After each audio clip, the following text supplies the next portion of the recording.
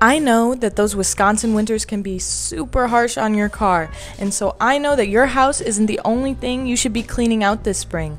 Call Russ Darrow Metro Mazda to schedule your next vehicle detail. We'll wash and wax your car with a three step buffing process. We'll clean the interior and exterior of your car, windows and door jams.